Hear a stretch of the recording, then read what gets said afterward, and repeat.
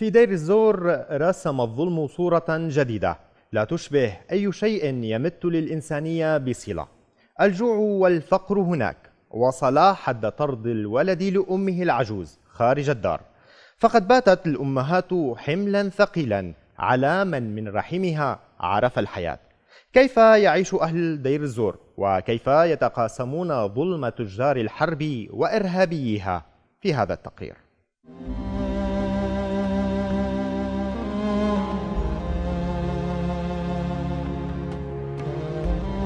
تجار قاموا يتاجروا فينا ويلعبوا فينا ويلعبوا فينا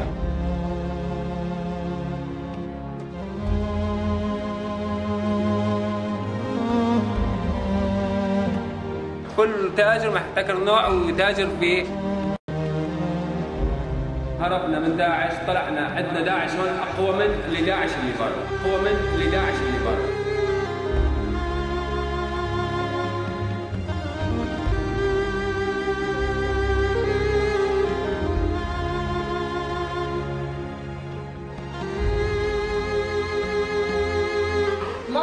صامدة ساعدونا مشان نضل صامدين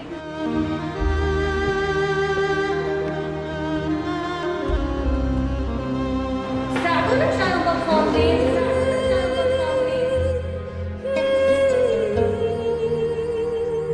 الخبز عم ينقطع عنا. عم ناخذ نحن كل أسرة ربطة والربطات من رغفان عم تكفي مين وين فطور العشاء لغدا. فرن طبعا حاولنا نوقف هو أكثر من مرة. أسلوب سوقي تماما. واقف ما بعرف مين فارزه. يحكي كلمات بذيئه أنا مو مضطره أنا مديره مدرسة مضطره أسمع هذا الكلام عشان آخذ رغيف خبز اطعميه بنتي. اليوم نحن ما حصلنا خبز. ويوم يقطعها يوم الجمعة. طيب ليش؟ فتنا كل القصور والجورة على البقدونس ما حصلنا غير جرستين بقدونس وكل وحدة ب 150 ليرة. هاي خضار هذا الخضار اللي قدرنا نحصله. كيلو عدس الشوربة ب 2000 ليره باي منطق باي اسلوب مين اللي عم يجيبه؟ عم تيجي الاغراض كلها بالطياره مين؟ تحط المسؤولية على المسؤولية على كل مسؤول بهالبلد، المسؤولية على المحافظ، على قائد الشرطة، اجت الطيارة مليانة بالخزنة التسوية، رحنا عملنا كتاب قدمناه للمحافظ، إحنا المعلمين مشان ناخذ حصص، راح قال لا في 50 حصة للتربية، 50 حصة للتربية توزعت بمعرفة مدير التربية. لفلان ولفلان لفلان، ما إجانا شيء، تجار توقف بده يجي واحد. اجى أخذ كل شيء بالسوق وراح، طيب كيلو 1500 رضيانين عم نحاول إنه نشتري، عم نحاول نشتري اللبن 700 ليرة. عم يقول لك يجي التاجر لا ما فيني بيع لأنه ما في دور ما إجاك ما في.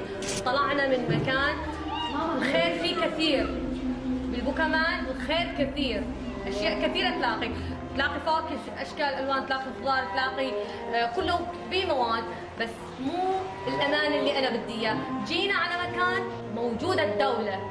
لا زالت قائمة الدولة مشان أحس بالأمان مشان تطلع بنتي وتروح أطلع أنا بأي وقت وأنا أحس. في ناس عم تحط حالها دمها على كفها وعم يطلعوا عم يطلعوا على المطار وعم يطلعوا على الجفرة وعم يطلعوا على حويجة صقر وعم يروحوا على السردة لأنه هم شرفاء. أوكي وفي ناس قاعدين بمكاتبهم وصلانهم كهرباء. وصلانهم مي وصلانهم أي شيء. لازم يكون في سلوك سلوك سلوك حضاري نتعامل به مع هالأزمة. إحنا بأزمة بأزمة. إذا أنا وإنت تنازلنا عن حقنا انه نكون مواطن وإن حق انه أنا اعيشها بشكل صحيح. منطقة صامدة. ساعدونا مشان نضل صامدين. ساعدونا مشان نضل نحارب مشان سوريا. مشان سوريا سوريا. بتعرفي إيش تكون سوريا؟ يعني أمي وأمك وأختي وأختك وعرضي وعرضك والناس عم ينتهكون هاي الأمور. كيلو خيار وكيلو بندورة وكيلو بطاطا. عم يسرقون وطنيتنا بهاي الأمور. بلقمه الخبز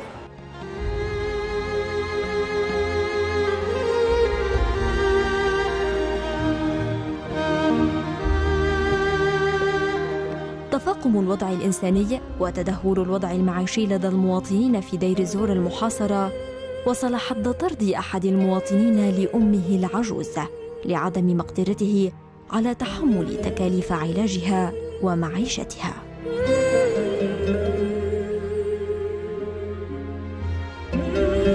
ما طلع فيك؟ هذا الكبير. الكبير ما طلع فيك؟ طردني أول ما هو طردني. شيلني طردك بالشارع؟ قال لي لا عاد تجي. لا تجي ولا شوفينا خالص. وهلا انت شو ترضي عليه ولا شو ولا كيف؟ ما جانا قل انت الساعتين راضيان عليه؟ لشكون؟ إيه. وحدة تقطع بينا يابا لو ما معك. مسامحين. مسامحين مسامح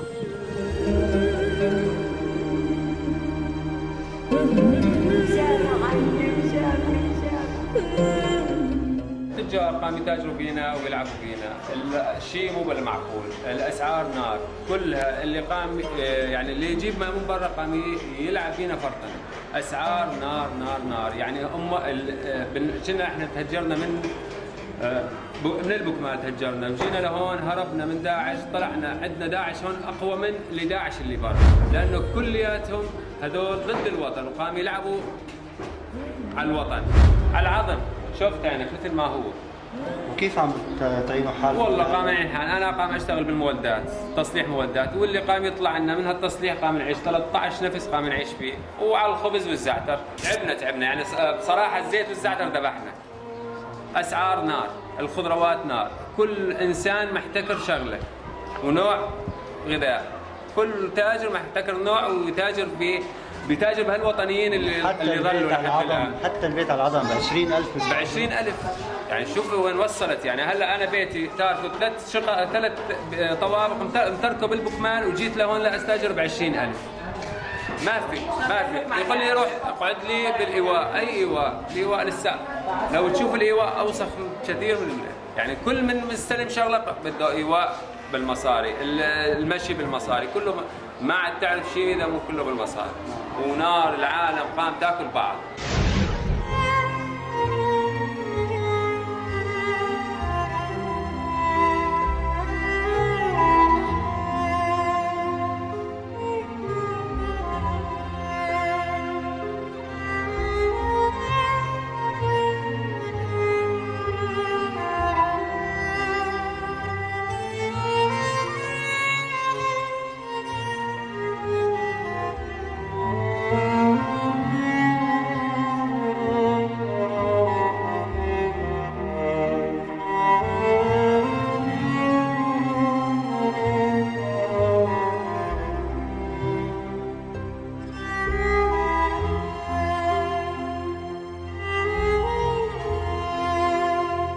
صمودنا لأنه إحنا بدنا الوطن بدنا القيادة بدنا الدولة. إحنا ما نبيع الوطن بالرخيص.